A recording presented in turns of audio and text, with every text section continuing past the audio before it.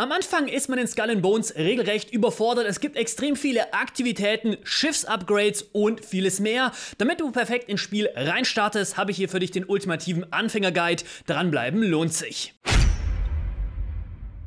Servus Freibeuter, willkommen zum allerersten Video zu Skull and Bones. In den letzten Tagen habe ich schon ordentlich reingezockt während der Beta und möchte euch heute hier den Grundguide geben fürs Spiel. Wenn ihr noch nicht richtig drin seid, noch ein paar Sachen noch nicht kennt, rumrätselt, dann seid ihr hier auf jeden Fall Gold richtig. Hier erkläre ich das Ganze, dass ihr einfach perfekt reinstarten könnt. Natürlich sind auch ein paar nützliche Tipps mit dabei, was sich eben lohnt, gerade am Anfang auch zu machen, welche Aktivität, ein paar Tipps auch zum Schiff. Auch morgen wird ein separates Video rauskommen, wie man früh ein sehr gutes Schiff mit mit richtig geilen Kanonen bekommt, um eben die See aufzuräumen. Wenn euch das interessiert, könnt ihr gerne mit einem Abo dabei bleiben und lasst auch gerne einen Daumen nach oben da, wenn euch das Video informiert. Ich beginne mit der Basis wirklich von ganz von vorne, denn hier gibt es sehr viele Icons, wie ihr schon sehen könnt. Kann man am Anfang etwas überfordert sein. Es gibt sehr viele Quests, Händler, Herstellung und da nehme ich euch einmal ganz kurz mit. Falls ihr euch mit der Basis schon auskennt, könnt ihr gerne weiterspulen. Zeitstempel sind mit drinnen. Nach circa anderthalb Stunden kommt ihr hier zu dieser Basis zum Hub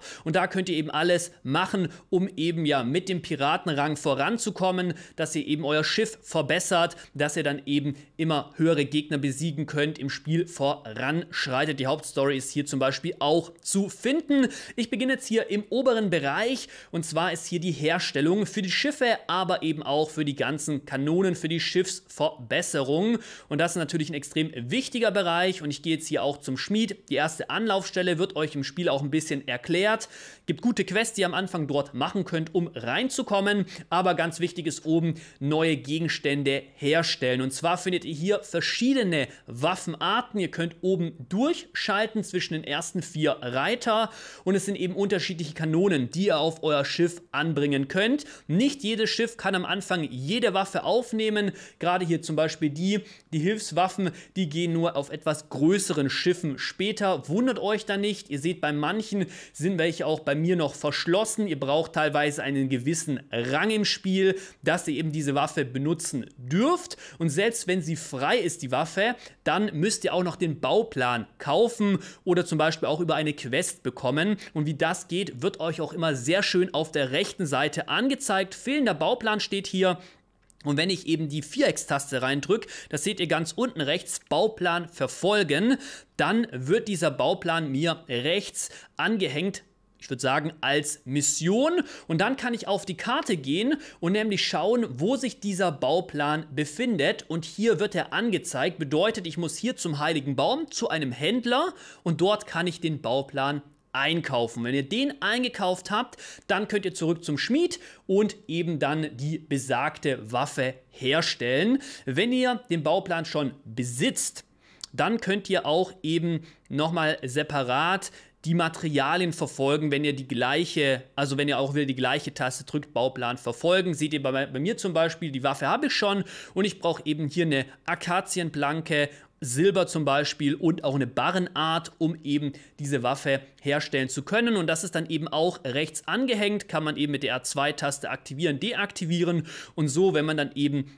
was farmen muss, kann man ebenfalls auf die Karte gehen, super nützlich und sieht eben, aha, okay, ich muss zum Beispiel hierhin oder dorthin, um eben an diese Materialien ranzukommen. Zu den Handelsrouten kommen wir auch gleich nochmal separat. Welche Waffenart ihr natürlich auf Schiff drauf macht, ist euch selbst überlassen. Ich würde jede Waffenart einmal herstellen, auf Schiff drauf machen, damit schießen, in Fight reingehen und schauen, ob sie euch eben gefällt oder nicht. Morgen kommt ja auch noch mein Schiffsbild raus, den ich am Anfang gespielt habe, der wirklich extrem geil ist. Es gibt auch noch bei den Waffenarten unterschiedliche ähm, Seltenheitsstufen. Natürlich unterscheiden sich die Waffen auch so eben, da könnt ihr gerne hier reinschauen. Ich werde später eventuell noch einen separaten Kanonenguide machen, was das Ganze mit Durchschlagen ähm, einen Unterschied zum Beispiel macht oder Segel zerreißen. Da brauche ich aber auch separat noch mal ein bisschen mehr Spielzeit. Wichtig auch gerade am Anfang Anfang, wenn ihr wirklich ganz am Anfang seid, schaut einfach auf den Schaden, nicht unbedingt gleich auf Plünderer, Durchschlagen und so weiter.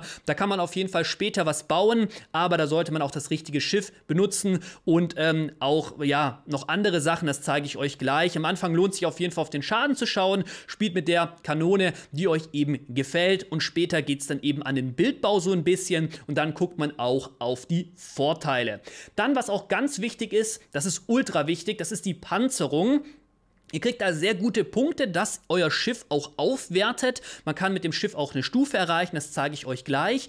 Aber hier bekommt ihr eben Panzerung und ähm, ja, das schraubt das Schiff massiv nach oben. Ihr bekommt dann weniger Schaden ab, überlebt länger und ähm, schaut einfach, dass ihr euch auch eine gute Panzerung herstellt. Zu guter Letzt könnt ihr hier eben auch noch dann Munitionskugeln herstellen. Man kann sie aber auch kaufen, aber wenn man natürlich die Ressourcen hat, ist man natürlich hier günstiger dran, denn man verbraucht kein Silber. Weiter geht's jetzt auf der anderen Seite. Beim Schmied sind wir durch und zwar beim Schiffsbauer. Hier könnt ihr mit der Zeit immer stärkere andere Schiffe herstellen. Ich habe jetzt hier schon ein paar mehr frei, weil ich auch die Beta gespielt habe. Am Anfang habt ihr eben nur ein Schiff. Beim Schiff ist auch dasselbe. Ihr müsst erst den Bauplan finden, könnt ihr eben verfolgen, wie zum Beispiel hier, das zweite Schiff habe ich den Bauplan nicht, ich gehe wieder auf Bauplan drauf und ähm, verfolgen, kann eben auf die Map gucken und muss schauen, wo ich eben diesen Bauplan herbekomme und kann ihn eben hier auch wieder kaufen, zufälligerweise auch beim Heiligen Baum. Und wenn ihr dann das Schiff besitzt, also ihr gesagt den Bauplan, dann könnt ihr natürlich auch wieder Bauplan verfolgen klicken, seht oben rechts, welche Materialien ihr benötigt und die Handelsrouten werden euch dann eben auch wieder angezeigt, wie vorher bei der Schmiede auch, wo ihr dann eben die Materialien herbekommt, damit ihr eben das Schiff herstellen könnt.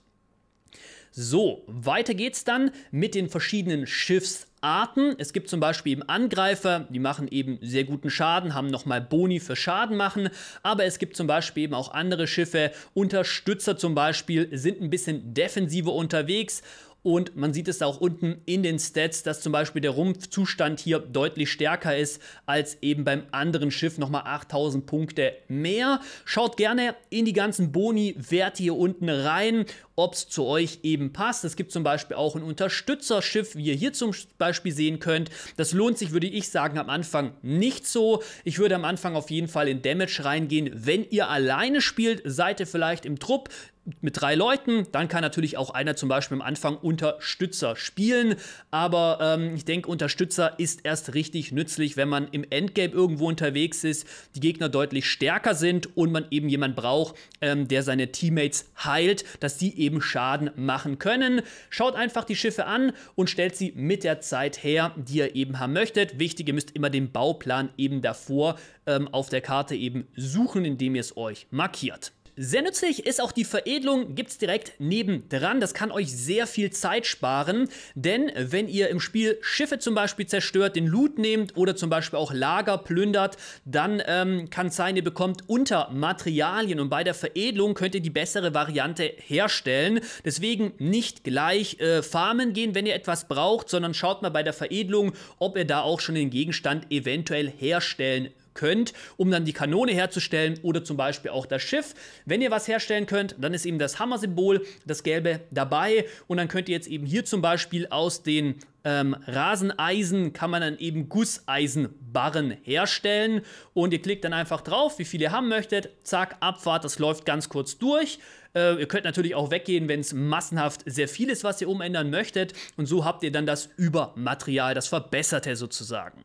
Wo ihr auch unbedingt vorbeischauen solltet, ist jetzt hier auf der anderen Seite der Zimmermann. Denn hier könnt ihr auch Gegenstände herstellen und zwar eine Spitzhacke. Dadurch könnt ihr eben Erze abbauen, wenn ihr mit dem Schiff in die Nähe fahrt. Oder zum Beispiel auch eine Säge, Bäume fällen. Habt ihr vielleicht auch schon ähm, am Anfang gemacht, ähm, wenn man in den anderthalb Stunden spielt, bevor man in der Basis ankommt. Eine Sichel gibt es ebenfalls, um zum Beispiel Bananen, glaube ich, zu ernten und eben auch Kokosnüsse, auch ähm, andere Früchte zum Beispiel. Dann sehr wichtig ist auch das Fernrohr. Ihr könnt weiter in die Fernrohr Sterne schauen und eben früher andere Boote scannen, was sie eben haben. Da kommen wir auch gleich nochmal dazu. Es gibt auch eine Brechstange, um Wracks aufzubrechen, um nochmal an Schatz ranzukommen. Und man kann auch diesen Jagdspeer verbessern, indem man, ja, dieses Boot hat man ja ganz am Anfang verwendet, kann man auch später nochmal für Missionen verwenden und macht den Speer eben ein Tick besser, dass die Gegner oder die Haie etc. schneller tot sind. Ansonsten könnt ihr hier noch separat euer Schiff ähm, ausstatten damit mit einer wie soll ich sagen, mit einer Verbesserung.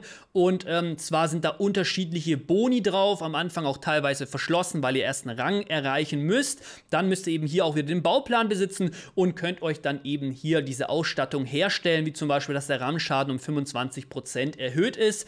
Da muss man natürlich auch gucken, was zu seinem Spielstil passt, zu seinen Kanonen in Kombination, was sich einfach lohnt zu spielen. Da gibt es drei unterschiedliche Arten. Von diesen ähm, lila ähm, Arten Karten kann man immer nur eins pro Schiff benutzen. Ganz wichtig, kann ich euch später aber auch noch zeigen. Und zu guter Letzt kann man hier auch noch verschiedene Reparatursets eben auch kaufen, den Bauplan und dann hier herstellen und sich dann eben auch heilen. Muss man nicht kaufen, nicht finden, sondern kann man bei dem Kollegen eben herstellen. Weiter geht's mit der Kochstelle. Man kann im Spiel auch eben Essen zu sich nehmen, bekommt dann gewisse Buffs Boni, die echt nützlich sind. Und hier könnt ihr dann eben verschiedene Gerichte herstellen. Gerade am Anfang fand ich super nützlich, immer die gegrillte Kokosnuss herzustellen. Kokosnuss am Anfang kriegt man wirklich hinterhergeworfen. Ich stelle die immer hierher und kann mir dann immer einen Ausdauerschub geben. Das kann ich euch gleich auch noch zeigen, wenn wir beim Schiff ankommen. Und so kann ich immer mit der Trim-Geschwindigkeit segeln. Die Ausdauer geht mit diesem Trick nie leer, weil man es auf Cooldown immer wieder essen kann. Eine mega geile Sache. Auf der zweiten Seite Seite gibt es noch ein paar krassere Gerichte, würde ich jetzt sagen, mit anderen Boni und ähm, die kann man natürlich auch herstellen. Ich denke, das braucht man aber nicht unbedingt am Anfang. Ich habe es auf jeden Fall nicht benutzt. Gibt natürlich Vorteile, könnt ihr auch gerne von Beginn an herstellen. Lohnt sich meiner Meinung nach aber eher, wenn man dann etwas härtere Fights im Midgame oder auch im Endgame hat. Einen weiteren nützlichen Händler gibt es noch und zwar hier oben den Provianthändler, denn hier könnt ihr zum Beispiel Kanonenkugeln einkaufen, wenn ihr welche benötigt oder zum Beispiel auch Reparaturkits, falls ihr selber keine herstellen könnt. Ansonsten zum Beispiel jetzt auch bei ihm, geht auch bei den anderen Händlern, könnt ihr natürlich eure, wie soll ich sagen, eure euren Loot verkaufen, den ihr gesammelt habt, der sich bei euch im Schiff aktuell befindet. Im Lager könnt ihr nicht drauf zugreifen, dann müsst ihr es im Endeffekt rausnehmen ins, äh, ins Schiff und dann könnt ihr bei dem Händler eben hier Sachen verkaufen, wenn ihr es einfach gar nicht benötigt, zum Beispiel alte, schlechtere Kanonen etc. Ansonsten kommen wir jetzt zu einem weiteren wichtigen Punkt und zwar einerseits den Briefkasten. Dort solltet ihr immer wieder reingucken. Ihr bekommt hier euch auch euren, wie soll ich sagen, ähm, Premium-Bonus, wenn ihr die größere Version habt. Aber hier habe ich zum Beispiel auch immer wieder Schatzkisten rausgeholt oder zum Beispiel auch andere nützliche Sachen. Wenn ihr übrigens eine Schatzkiste besitzt, im Inventar oder im Lager, links daneben könnt ihr gleich aufs Lager zugreifen und zwischen eurem Schiff und eben ja dem Lagerhaus hin und her wechseln. Ihr solltet immer schauen, unten links seht ihr, wie viel im Schiff gelagert werden kann. Ihr solltet wirklich das Schiff immer leeren, um eben dann auf eurer Kapertour maximal vollladen zu können und nicht zwischendrin volllauft. Ansonsten seid ihr überladen und sehr langsam. Das ist wirklich super ätzend. Deswegen immer rüberschaufeln. Und ihr findet eben hin und wieder manchmal im Inventar oder im Lager diese Schatztruhen und die solltet ihr wirklich unbedingt öffnen.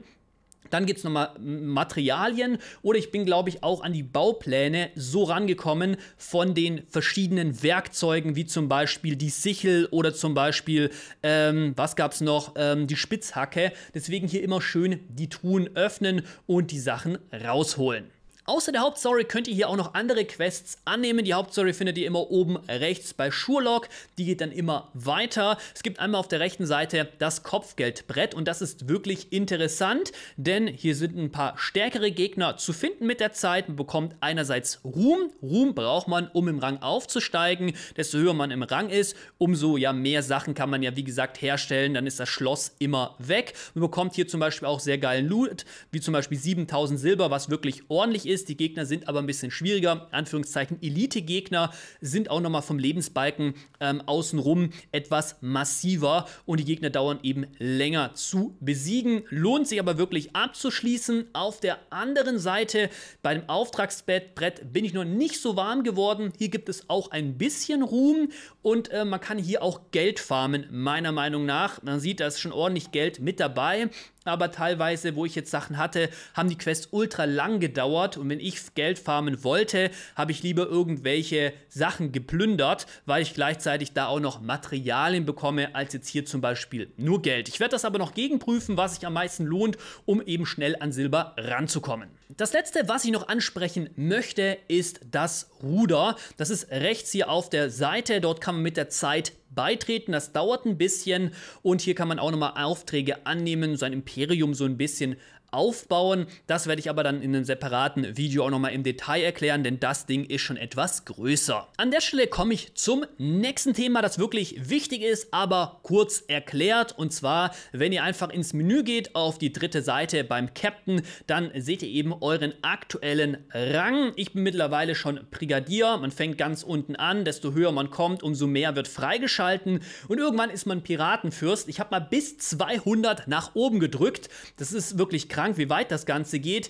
Ähm, ja, könnt mal gerne selber weiterdrücken. Vielleicht gibt es irgendwann den Max-Rang oder es geht unendlich. Schreibt es gerne in die Kommentare rein.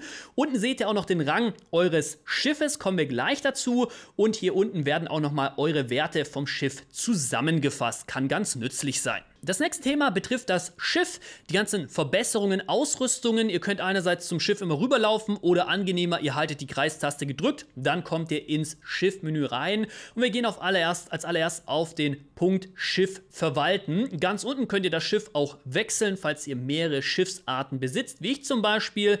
Die haben immer unterschiedliche Startlevel und ähm, desto höher das Level ist, umso besser ist in Anführungszeichen auch das Schiff, denn das skaliert eben unten immer rechts. Desto bessere Kanonen ihr drauf habt, desto stärker Standard das Schiff ist, umso weiter kommt ihr vom Level nach oben. Ihr könnt eben stärkere Gegner besiegen und es ist auch, jetzt habe ich gemerkt, einen riesigen Unterschied, ob man eben jetzt zwei Level unterlevelt ist, das gleiche Level oder zwei Level höher. Also das ist wirklich das A und O, dass ihr wirklich drauf schaut, nicht nur auf die Stats der Kanonen, sondern auch, dass ihr schön das Level nach oben pusht, um eben einfacher durchs Spiel durchzukommen. Ich beginne oben bei den Waffen, ist eigentlich relativ selbsterklärend. Ihr könnt immer die Waffen draufschrauben, die ihr eben hergestellt habt.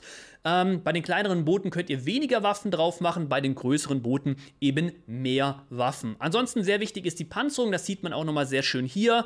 Habe ich zum Beispiel keine Panzerung oder eine sehr schlechte Panzerung, seht ihr rot unten rechts, wie viel mir abgezogen wird, wenn ich jetzt die schlechtere Panzerung nehmen würde. Deswegen Panzerung richtig geil. Wenn ihr eine herstellen könnt, dann macht das auf jeden Fall als Tipp. Ansonsten Ausstattung auch sehr wichtig. Hier könnt ihr euch nochmal Bonus-Stats holen. Auch hier geht das Level unten rechts nach nach oben.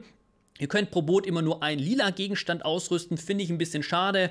Und die restlichen sind dann eben ganz normal grau, geben euch aber auch verschiedene Boni. Nehmt natürlich die Boni, die zu eurem Schiff, zu euren Waffen passen, dass ihr einen Vorteil habt. Und ansonsten zu guter Letzt den Namen muss ich nicht erklären, kann man ändern. Die Schiffsverschönerungen könnt ihr eben durchklicken. Gerade wenn ihr in der Basis seid, könnt ihr sehr viele kaufen. Teilweise aber auch bei Händlern ähm, bei anderen Inseln, bei anderen Außenposten könnt ihr vorbeischauen und ähm, es gibt oben einmal die komplette Übersicht der Boote. Könnt dann über die Übersicht eben was kaufen, alles auf einmal, dass es einheitlich aussieht. Oder ihr geht dann eben einzeln durch die einzelnen Bereiche durch, die Segelfarbe, das Muster zum Beispiel, Embleme, vorne die Figur und könnt dann verschiedene Sets auch miteinander mischen. Es gibt auch verschiedene Währungen im Spiel, kann ich jetzt hier kurz ansprechen, weil man sieht. Und zwar, erste Währung ist einfach Silber, bekommt man ganz normal im Spiel, wird wahrscheinlich später auch einem hinterhergeworfen. Ich habe jetzt selber schon 23.000.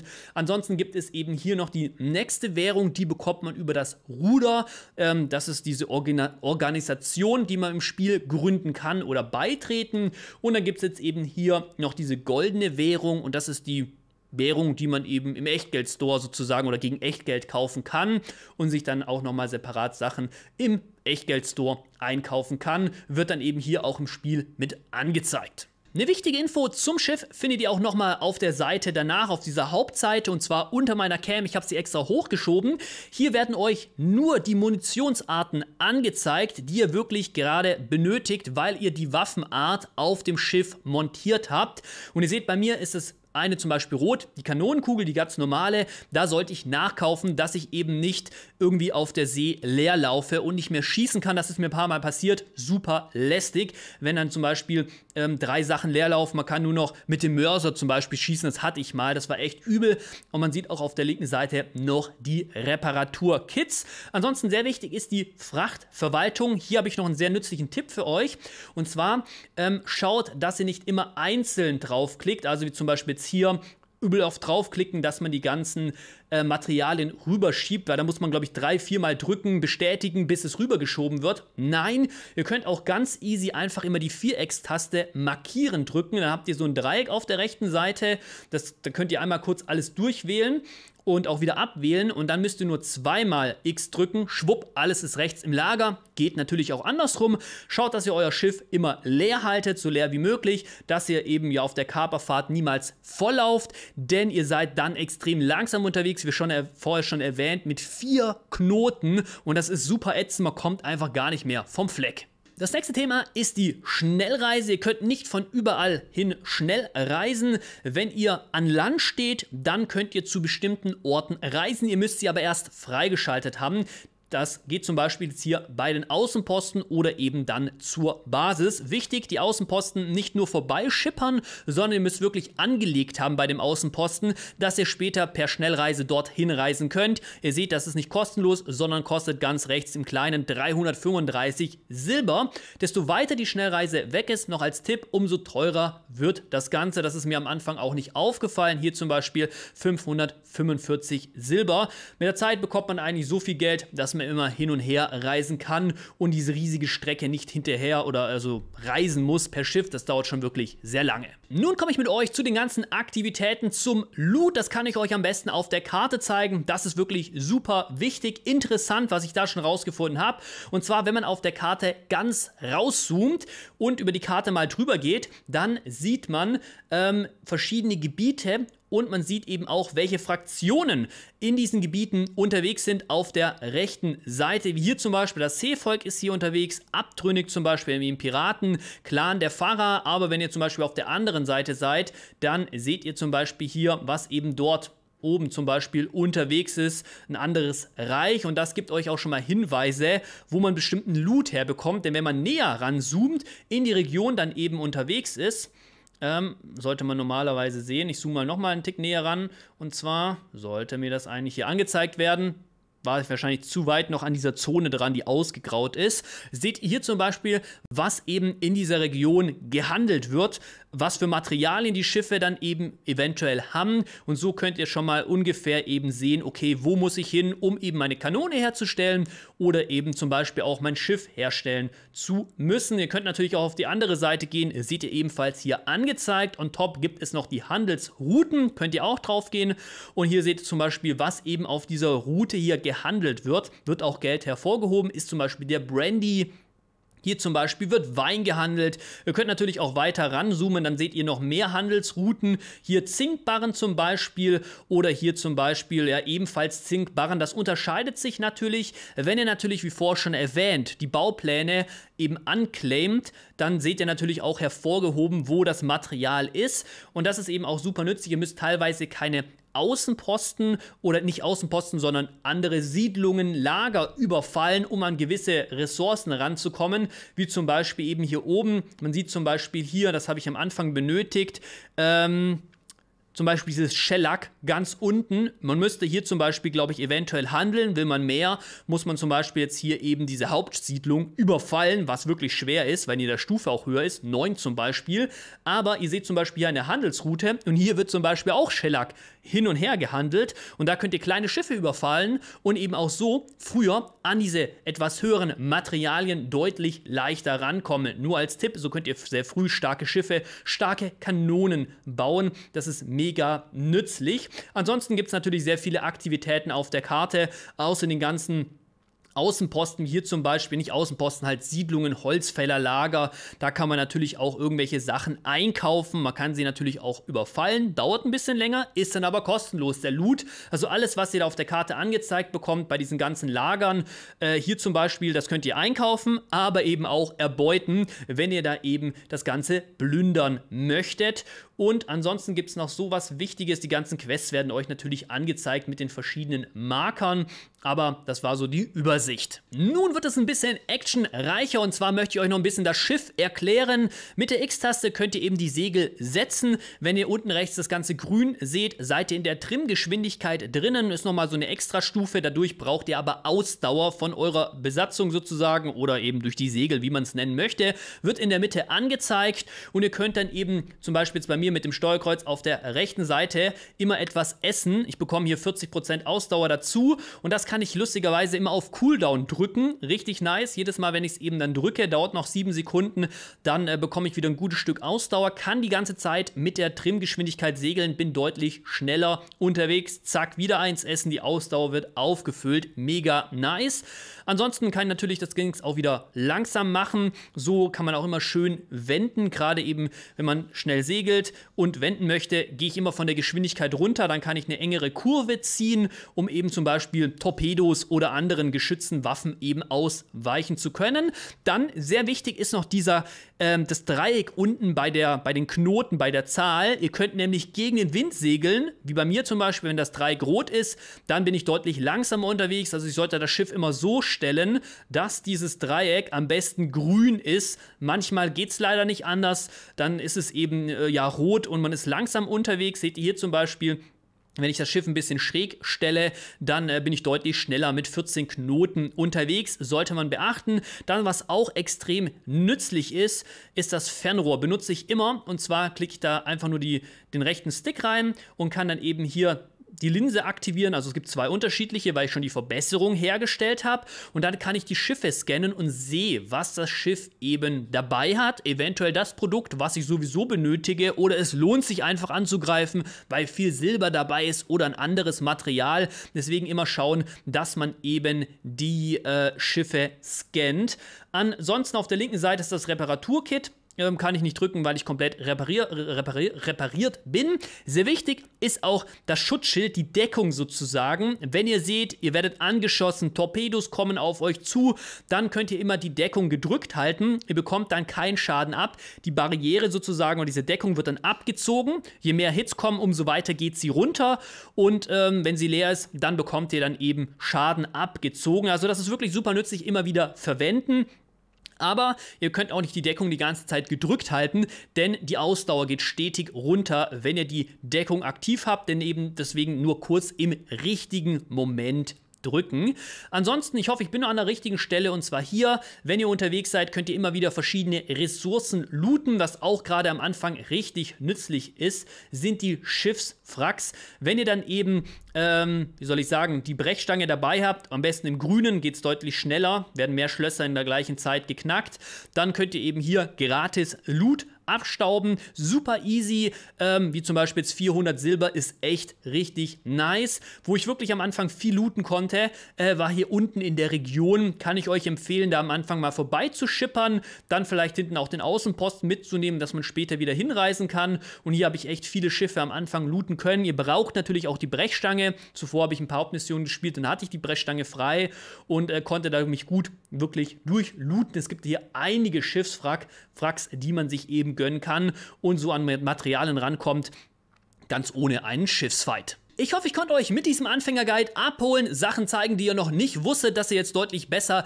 im Spiel unterwegs seid, kein Fragezeichen mehr habt, sondern einfach wisst, was Sache ist. Wenn euch das Video gefallen hat, lasst gerne einen Daumen nach oben da. Wer auch noch was Nützliches kennt, schreibt es gerne in die Kommentare rein und in den nächsten Tagen kommen die nächsten Videos raus, wie zum Beispiel ein starkes Anfängerschiff, aber auch noch so andere nützliche Tipps, wie man zum Beispiel auch schnell Geld farmen kann. Wer das nicht verpassen möchte, kann immer gerne mit dem Abo dabei bleiben. Ich wünsche euch ganz viel Spaß beim Zocken. Ich bin weg. Ciao. Haut rein.